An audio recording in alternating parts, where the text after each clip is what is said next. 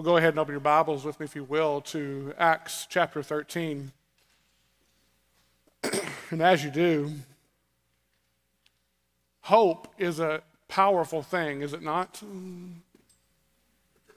Hope has the ability to, to carry us through the, the darkest of seasons and the most painful of trials.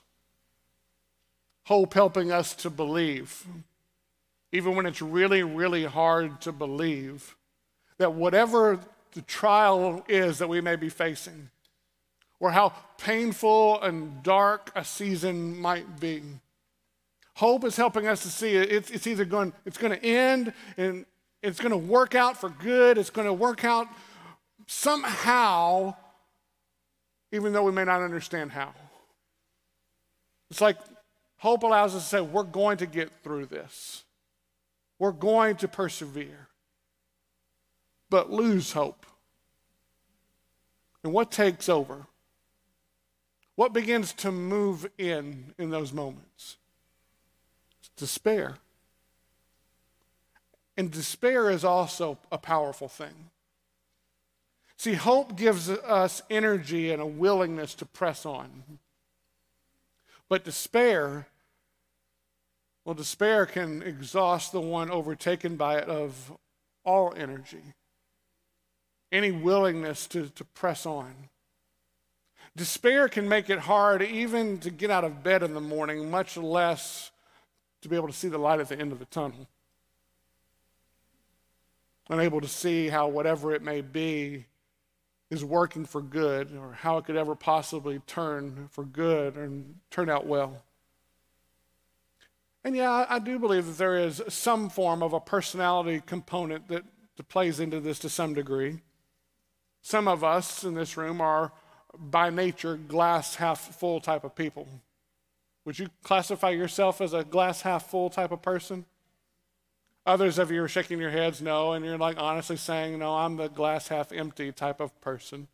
I'm not going to have you raise your hand and say, yeah, that's me. I'm the glass half empty type of person, the life of a party. No.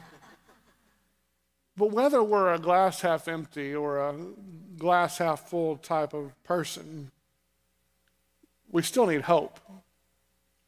Every single one of us need hope because when real trials come along, I mean, I'm talking about real trials, and darkness and despair are what we find knocking at the door. What's going to help carry us forward and help us to press on? It's hope. It's hope. But then that's the question hope in what? That's the real question, is it not? Like, where are we placing this hope? And whether you realize it or not, that's what we're celebrating today is all about. Real hope, unshakable hope, everlasting hope, even in the greatest moments of fear. So follow along with me as we continue to look at Paul's sermon that we started looking at last week. We're looking closely beginning at verse 26, Acts chapter 13. Brothers, sons of the family of Abraham, and those among you who fear God, to us has been sent the message of this salvation for those who live in Jerusalem and their rulers, because they did not recognize him nor understand the utterances of the prophets, which are read every Sabbath, fulfilled them by condemning them. And though they found in him no guilt worthy of death, they asked Pilate to have him executed. And when they had carried out all that was written of, of him, they took him down from the tree and laid him in a tomb but God raised him from the dead. And for many days he appeared to those who had come up with him from Galilee to Jerusalem, who were now his witnesses to the people. And we bring you the good news that what God promised to the fathers, this he has fulfilled to us, their children, by raising Jesus, as also it is written in the second psalm You are my son. today I have begotten you. And as for the fact that he raised him from the dead, no more to return to corruption, he has spoken in this way I will give you the holy and sure blessings of David. Therefore, he says also in another psalm, You will not let your Holy One see corruption.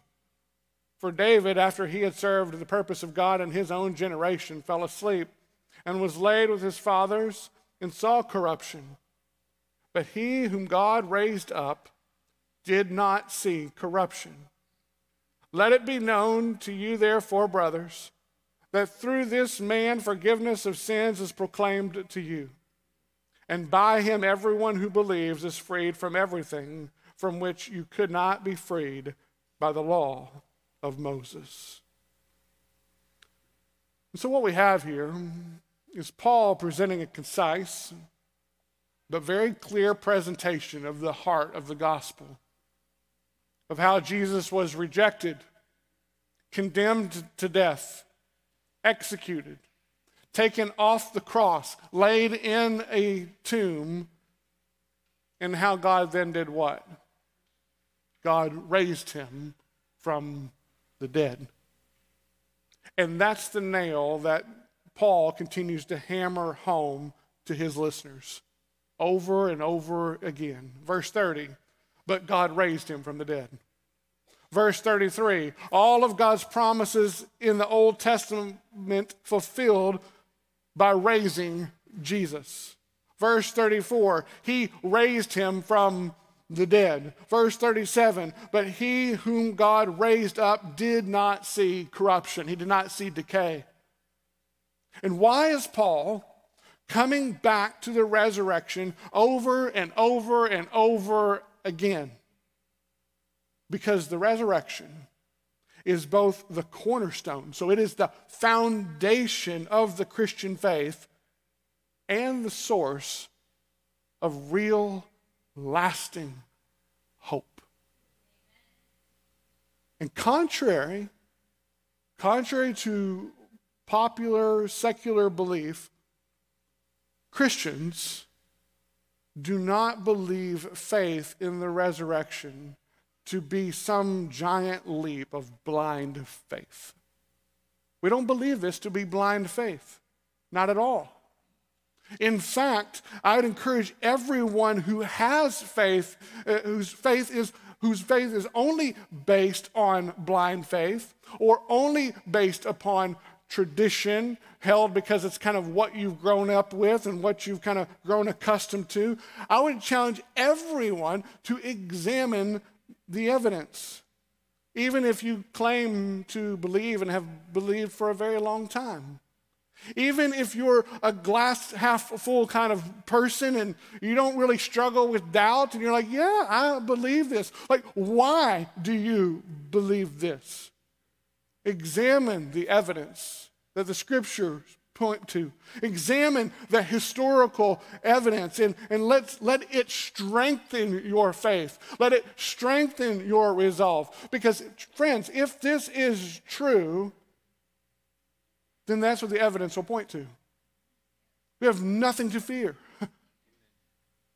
if it's not true, we of all people are most to be pitied. Because what we're doing right now is just foolishness. So we want to look is this true. Because genuine faith that provides real hope and that lasts and carries us through the greatest of fears and the greatest of challenges in this life is not blind faith. It's not wishful thinking faith. It can't be. Because if it is, it's not going to last when those trials get tough, when the despair begins to take over. Which is why genuine faith in the resurrection is based upon his, a historically credible and intellectually reasonable faith. And it's this type of faith that is able to bring real hope, even in our greatest moments of fear. And that's what I want to help us to see today by asking two questions. First question How is the resurrection of Jesus an historically credible and intellectually reasonable faith. How is that possible? Well, let's look at two key pieces of evidence. We could look at a lot more, time prohibits, but for the sake of time, we'll look at two, starting with how the tomb is empty. Notice how Paul makes it a point in his sermon to say Jesus was executed. He's making the point that Jesus literally died at the professional hand of professional executioners. And then his body was taken down from the cross, laid in a tomb, he was buried. And then Paul tells us what? But God raised him from the dead. But the question is how do we know that's true? How do we know that God raised him from the dead? How does this give us real, lasting hope beyond wishful thinking or beyond a, some psychological therapeutic? How does it do that? Well, let's start with how even scholars and historians who do not believe in the resurrection, they're saying everything that we're doing today is based upon fantasy. They do not believe in the resurrection, but they agree on one thing. They agree that the tomb is empty. There's agreement among believers and non-believers alike that historically that the tomb is empty. And this isn't a matter again that's up for historical debate. What is up for debate, if you will, or the question that needs to be answered is how is the tomb empty? How is the tomb empty? Need to know what it is, what is the most historically credible and intellectually reasonable answer to the, the emptiness of the tomb. Because if you want to put a quick end to Christianity, want to put a quick end to a growing religious movement that's based 100% upon the belief in the death, burial, and resurrection of Jesus, what's the one thing that they had to do to stop a movement like this in its tracks? Produce the dead body of Jesus. That's all they had to do. That's all the religious leaders and those who opposed Jesus had to do produce the body. But that's the problem. There's no dead body to point to. Why? Well, it's historically and intellectually, it has to be one of two reasons. One, either because Jesus really did die and rise from the dead, or two, there is another historically credible and intellectually reasonable answer to what happened to the body. It cannot be, I just don't believe. It can't just be, I, I just don't believe it. Why? Because that's just blind faith. That's all that is, is blind faith. So let's consider a couple of the best, quote unquote, theories put forward, put forth as to why Jesus did not rise from the dead starting with the theory that Jesus didn't really die. Rather, the theory is Jesus only appeared dead. So the belief is that he wasn't actually dead, he wasn't dead, dead. Maybe just passed out from the exhaustion, but never really died. And to fairly consider this, let's look at the evidence. Because this theory requires us to believe that after the nails were thrust through his hands and the nails were thrust through his feet, and he experienced the tortures of a Roman cross, having to pull himself up every time to take every suffocating breath. After a spear was thrust through his side, and you can't forget all the scars and the lashes that he received from the beatings prior to his execution. After all of this, he just unwrapped his own body.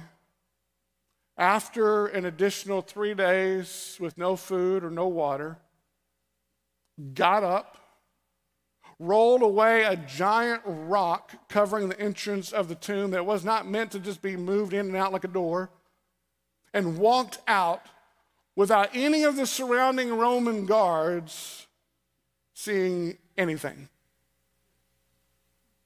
So now let me ask you honestly what sounds more historically or intellectually plausible? This theory that we just looked at, or that Jesus really did die at the hands of trained Roman executioners. They didn't bring people off the cross alive, and that God actually raised him from the dead. Now, with, with this, let's be clear. Both views require faith in order to believe. But the question for us is which one does the evidence support best? That's the question. Which is more historically credible and intellectually reasonable for us to believe? Which then leads others to think, okay, maybe that doesn't sound as historically credible and intellectually reasonable. So, well, the body must have been stolen. Body must have been stolen. Because again, you got to give an answer for what? The body. You got to be able to give an answer for the body. So the theory here is Jesus' body must have been stolen. His disciples must have stole his body and then concocted the story of the resurrection. Which, to be fair, may sound plausible at first, but also requires a giant leap of faith to believe as we press in further to the evidence. As one must first believe the disciples were able to slip past all the Roman guards undetected, then roll away the stone without being heard, grab the body, unwrap him, leave the, the cloth there, and then leave without anyone seeing or hearing anything. So we ask, is that plausible? Well, let's be intellectually reasonable people here. We have to admit, based upon the, that evidence alone, it's possibly possible. Possibly possible. It's, it's enough to provide some measurement of reasonable doubt that a, a lawyer would press into that it, the body could have been stolen. It possibly could have happened. At least it's possible that this occurred but still not plausible. Why? Because we have not yet taken into consideration what form of evidence? The eyewitness testimony. Because let's just say this theory has legs. Let's say that there's a reasonable doubt to be considered here. Maybe the disciples did steal Jesus' body then how do we account for their continued testimony to sing the resurrected Jesus?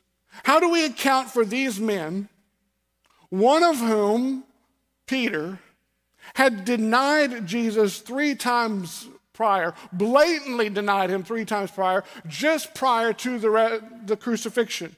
How do we account for how they all got together? These 12 disciples, who we've read so much about through the Gospels, and they concocted a story of how Jesus rose from the dead. And then they kept this lie without a hint of going away from it for 40 years, enduring suffering, some even given their lives on account of a lie. Does this at all sound credible or reasonable? Even in modern day, Charles Colson, Chuck Colson, who was involved in Watergate with President Nixon, once stated I know the resurrection is a fact, and Watergate proved it to me. How? Because 12 men testify that they had seen Jesus raised from the dead. Then they proclaimed that truth for 40 years never once denying it. Everyone was beaten, tortured, stoned, and put in prison. They would not have endured that if it weren't true. Watergate embroiled 12 of the most powerful men in the world, and they couldn't keep alive for three weeks. You're telling me 12 apostles could keep alive for 40 years? Absolutely impossible. And see, friends, That's the thing. We're not just talking about 12 eyewitnesses here. We're talking about over 500 eyewitnesses. Paul making it a point to tell his listeners Jesus appeared to those who had come up with him from Galilee to Jerusalem. And in his letter to the church in Corinth, he says this number included 500 in one setting. And why would Paul do this? Why would, would the gospel authors point to the witnesses? To tell the original listeners, hey, if you don't believe me, ask them. If you don't believe me, ask her. If you don't believe me, go ask this other group of people. Go ask them, and they're going to corroborate everything that we have said. As they saw him over a period of 40 days in various ways and in various places. Some saw him in Judea, others saw him in Galilee. Some saw him in towns, and some saw him out in the country. Some saw him indoors, and others saw him outdoors. Some saw him in the morning, some saw him in the evening. Some saw him by a prior appointment saying, Hey, meet me here. And Jesus says, I'm going to meet me here, and I will see you then. Others, no appointment at all. Jesus just showed up. Some saw him close up, some saw him from a distance. Some were men, some were women. Some were small groups, some were large groups, again, as high as 500. Some, some, saw him sitting, some saw him standing, some saw him walking. Everyone heard him talking. All of them. But of all the witnesses who saw Jesus and testified as such, one of the most incredible and credible pieces of eyewitness evidence we have is the testimony of the women who came to the tomb. And here's why because women were not allowed to give evidence in the court within his historic society, this historical society. They were not deemed to be credible witnesses. It was the thought that they cannot be believed, which begs an important question. Again, let's be intellectually reasonable here. If women were the least credible witnesses in society, so, not to be believed at all, why would the writers of the New Testament collectively base the strongest eyewitness accounts on the testimony of women if they were just making all this up? like, why? If this really, if this really isn't true, and it's all just a made up lie, wouldn't you base the testimony accounts on more credible sources, at least in theory?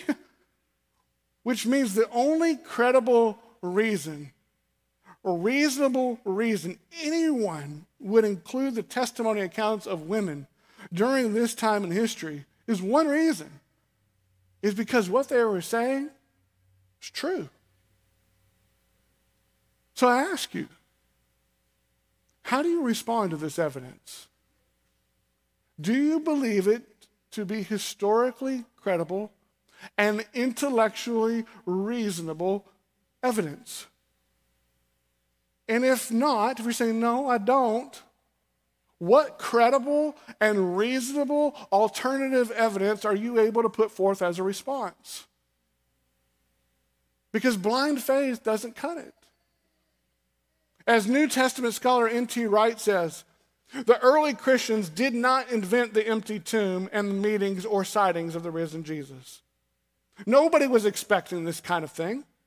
No kind of conversion experience would have invented it, no matter how guilty or how forgiven they felt, no matter how many hours they pored over the scriptures. To suggest otherwise is to stop doing history and enter into a fantasy world of our own. See, we as a modern people have a tendency to assume that those who lived back in Jesus' day easily and naively just believed stuff like this. They just, oh yeah, they're naive. They believe the thing about a resurrection. But not us. We in modern society, with all of our advanced technology and knowledge, we know better. But see, this is the problem. Because this isn't a historically credible understanding of what people in Jesus' day actually believed. Take the pagan culture of the day, for example. They believed all kinds of bizarre stuff, like all kinds of bizarre stuff. But the idea of a bodily resurrection, they'd be like, yeah, that doesn't happen. I know. Only a fool would believe that. And what about the Jews? Depends on which group within the Jewish population we're talking about Pharisees, Sadducees, you name it. Either they did not believe in a resurrection at all, or believed in a general resurrection of the righteous at the end time, when the whole world would be renewed. But no one, let's be clear, no one believed in an individual resurrection. And they surely did not believe in an individual resurrection in the midst of history while things like evil and suffering and death continued on all around. Which means what?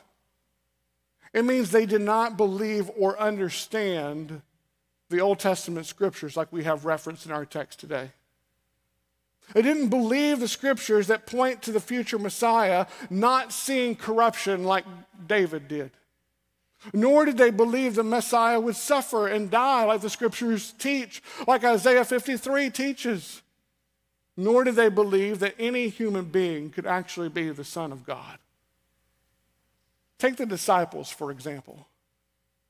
Yes, they believed Jesus to be the Messiah, but they were, they were not looking for a suffering servant, but a political deliverer. As three different times Jesus tells them he's going to suffer and die and rise from the grave. First time in Mark 8, Peter, speaking on behalf of the others in response, says, No way! That's not going to happen to you, Jesus. To which Jesus responds, Get behind me, Satan. Second time comes around in Mark chapter 9. We're told that they still did not understand, but this time they were afraid to say anything. And Peter's like, I am not getting called Satan again. And like, they're just like, I'm not saying a word. Third time, Jesus tells them, Mark chapter 10, nothing, no response. But what's really telling is when the third day after Jesus' death arrives, where are the disciples not? They're not at the tomb. Not even with a possibility of maybe. You know, he did mention this three different times. Let's just go and check it out. Hmm. Maybe. Why? Why would they not even go check it out? Because an individual bodily resurrection was so completely unbelievable to them, it never crossed their mind. Not at all. Which begs the question what changed? Like, what changed? They didn't affirm or recognize the Old Testament evidence. They did not believe that, believe that what Jesus told them, this idea of an individual bodily resurrection, was completely unbelievable within their culture, in their minds. And so, what changed? Where literally overnight they went from not believing, even denying to know Jesus, to being willing to give their lives for him. What historically credible and intellectually reasonable evidence can give a reason for this if the resurrection is not true? Where an entire belief system held for centuries, changes in one instant, changing the entire course of history with it. If the resurrection is not true, then, friends, what explains this? See, friends, you don't have to believe. I pray you will. but you don't have to believe. But you do owe it to yourself to provide a credible answer to questions such as these.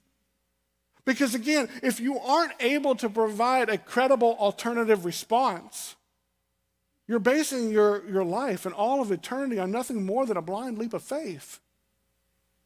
And friends, the stakes are, are too high to base so much on a blind leap of faith. But this now brings us to our second question How does belief in the resurrection bring real, lasting hope, even in our greatest moments of fear? How does it do that? How does the belief in the resurrection bring real, lasting hope, even in our greatest moments of fear? And the answer is it doesn't if it's not true and if it's not believed. But with that being said, the belief the Bible speaks of is more than a, a, mental affirmation or an embraced tradition type of belief. Even a well reasoned belief in the historical account of the resurrection doesn't automatically equal saving faith. Because, see, it matters little if we claim to believe the resurrection with our lips, but refuse to follow Jesus with our life. As James tells us, faith without works is dead. Just a body without a, as a body without a pulse possesses no life. See, the disciples' faith was proven genuine, not because they had a well reasoned faith but because their well reasoned faith resulted in them following Jesus, no matter the cost. See, they, they went from not believing the resurrection, even outright denying Jesus, to enduring unimaginable suffering in order to faithfully follow him. Why? How? because they possessed for the first time in their life real life changing hope. They truly believed because of the resurrection that their hope was no longer found in this world, they truly believed because of the resurrection that their treasure was no longer found in this world. They believed because of the resurrection what Paul writes in Colossians 1:13 that for we who are believing and trusting in Christ is our only hope in life and in death that God has delivered us from the domain of darkness and transferred us to the kingdom of His beloved Son, in whom we have redemption, the forgiveness of sins, which is knowledge and understanding that provides what? Real hope. It's knowing as the result of the resurrection, they were citizens of another kingdom. It's knowing with certainty that this world is not their home. They're sojourners, they're strangers passing through on their way to another destination. And as citizens of Christ's kingdom, they knew they were truly free, which is what the therefore is therefore in verse 38 of our text today. Paul saying, Because Jesus died and rose from the dead, let it be known to you, therefore, brothers, that through this man forgiveness of sins is proclaimed to you. And by him, everyone who believes is freed from everything from which you could not be freed by the law of Moses. And friends, it's this reality, it's this belief, rooted in a historically credible and intellectually reasonable response to the resurrection of Jesus, that not only led to a change in mental affirmation, but a change in life brought about a, a, real ability to walk with genuine, living hope, even in the midst of life's greatest trials. How so? Two reasons. One, the resurrection frees us from our guilt and shame. See, the resurrection of Jesus is the assurance that our sin debt has been paid in full on the cross. Uh, by us, by, for everyone who believes. Not partially, but completely. Not wishfully, but truly. Thus, the therefore. Therefore, because Jesus died to pay the penalty for your sin, our sin, and because God raised him from the dead, accepting Jesus' atoning sacrifice, forgiveness of sins is available to who? To everyone who believes. And everyone who believes is freed from what? Everything from which you could not be free by the law everything by which you could not be free by your works, everything which you could not be free by your efforts and by your merits, by your own righteousness. It means because the resurrection of Jesus is true, everyone who believes can approach the throne of grace with confidence, without guilt, and without shame, as our sin debt has been paid in full by Jesus not wishfully, but confidently. Which gives what to we who believe? Hope. Hope. Real hope, showing us God's great love for us, that while we were still sinners, Christ died for us.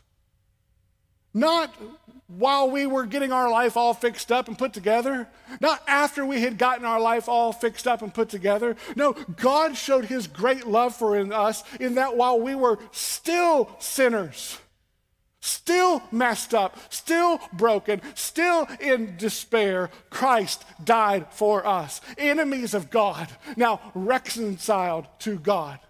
A truth, a freedom made possible and available by the power of the resurrection to everyone who believes, including you, including you who are wrestling with serious doubts right now, including you who may be on the brink of despair. Just think about how much Peter, oh, Peter.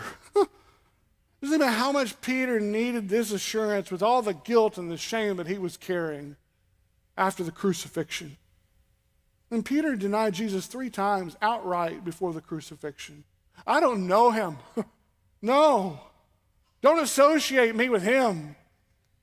So much guilt, so much shame. Maybe like some of you are continuing to carry. And yet, what did the angelic messenger, speaking on behalf of Jesus, tell the women who came to discover the empty tomb that we read in Mark earlier? Go tell the disciples and who? And Peter. Go tell the disciples and Peter.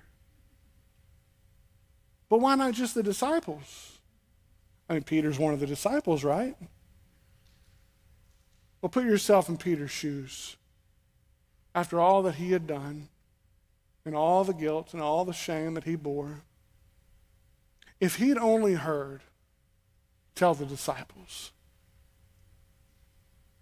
there's a good chance that he would have been like, yeah, that's not referring to me anymore. I'm not worthy. Y'all go ahead. Not me. But what's Jesus say? Tell the disciples, disciples and Peter. Why? Because Jesus wants Peter to know that even his egregious denial is able to find forgiveness in the grace of God. Because the resurrection frees everyone who believes from everything the law could never free us from. And you know what that brings? Real hope. It's why Peter darted out the door to go see. He heard his name. He's like, I'm out of here. And friend, maybe this is exactly the message the Lord wants you to hear this morning. How belief in the resurrection of Jesus frees us from all guilt and shame. As Jesus took our grief and our shame upon himself at the cross. But that's not all. Number two, the resurrection frees us from, from fear and death. And this isn't to say that as Christians we'll never experience fear, nor is it to say that we won't physically die. Each of these things are true realities of the Christian life as much as it is of anybody else's life. Just look at how the members of the church in Jerusalem, how they fled out of Jerusalem into the surrounding regions as the persecution began to increase upon them. Circumstances that had to bring about a horrible fear. So many uncertainties. Where are we going to live? How are we going to get income? What's going to happen to us? Similar to how the great uncertainties of our lives can bring about various levels of fear also. The fear when we receive a, a negative medical diagnosis, the fear when tragedy strikes, the fear that you have when you lose your job and you've got to go home and tell the family and figure out what are you going to do next. So many unknowns in each of these things, and so many more that we could list, all of which can bring about various forms of fear. But what belief in the resurrection makes possible is the freedom to know, and to know with absolute certainty that even if the worst happens, death is no longer our greatest enemy. How so? Because death is now God's means of ushering we who believe in the power of the resurrection into the presence of Christ. No more suffering, no more pain, no more sorrow, no more judgment for our sin. See, death for we who are trusting in Christ as our only hope in life and in death is the reminder is the reminder that not only will we immediately be with Christ, but our flesh and blood of bodies will one day rise with Christ as well. Which is what? It's real hope. But such hope as this is only possible if the resurrection of Jesus is true. If it's not, well, we of all people, again, are most to be pitied because our faith is futile, it's foolish. But if it's real, if it's true, church, it changes everything. So I ask you this morning do you believe? Do you believe? Do you believe you are a sinner deserving of God's judgment? Do you believe Jesus died to pay the penalty for your sin out of a demonstration of God's great love? Do you believe that Jesus rose from the dead after three days in the tomb? Do you now possess a living hope that helps you face the greatest fears in this world? If not, I'm here this morning to tell you you can. Can. And if you want to talk further about this, there is nothing I would em- embrace or enjoy more than to talk about this reality with you and how this can be possible. There's numerous ones of us who would love to. But now, if not,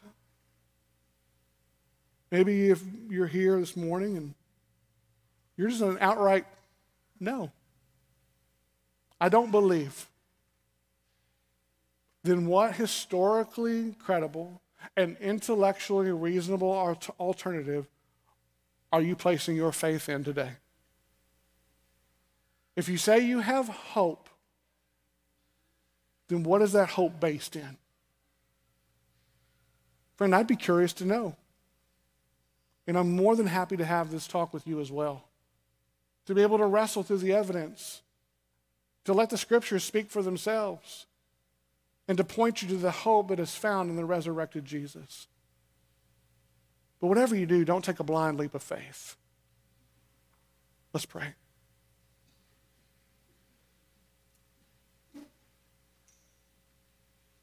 Lord, we thank you that the faith that we hold as Christians isn't a mere tradition passed down, though it is a tradition passed down, but it is a tradition laced with truth. Historically credible and intellectually reasonable truth. We're not just taking a blind leap of faith. We're following the evidence and basing our life on the hope that is found in the resurrected Christ. And Lord, we're asking for you to use the evidence of history and the evidence that is clearly put forth through the scriptures to give us confidence as believers and to open the eyes and the minds and the hearts of unbelievers to see and to hear and to believe the glorious truths that are found in the gospel. Lord, give us hope. Help us to see real hope. In Jesus' name we pray. Amen.